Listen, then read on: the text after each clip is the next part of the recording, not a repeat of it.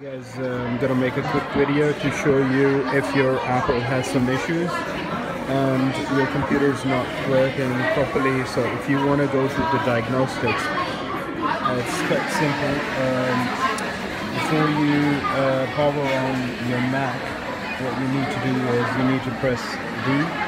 So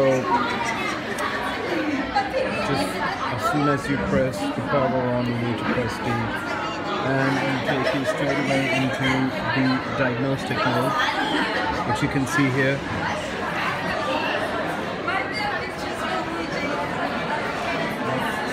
So basically, this is the diagnostics mode, in which um, it's got a self-diagnostic system, and the software tests all the hardware and the software itself uh, on your computer to see if there's any issues so uh, generally, if there is any issue, uh, it should uh, come up on the report.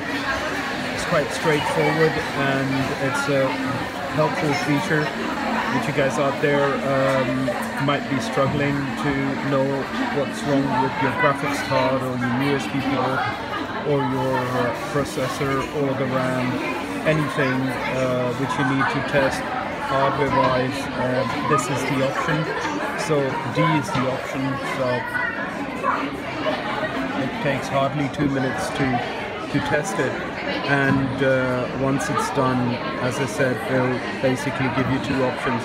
They'll show you all the complete diagnostic report and it'll, it'll, it'll give you an option to boot into the um, to the startup mode or the BIOS mode you can say where it'll basically connect to the internet and check the warranty and services and uh, from there on it's it's quite an automated uh, process uh, how Apple has basically set up the whole software which is pretty much amazing. And uh, yeah because I've been having issues with the left uh, with the right USB port uh, but that might be a loose connection of the external hard drive uh, apart from that, my computer doesn't have any issues. My last MacBook did, but this one doesn't. So here is a quick report. It's saying um, the power adapter was not tested. That's because um, obviously there's no power connected to my computer. So that's the that's the only issue it's showing up. Rest is fine. So guys, thanks for watching my video. Do subscribe, like, share, and comment, and I'll be posting other videos Uh, for your help.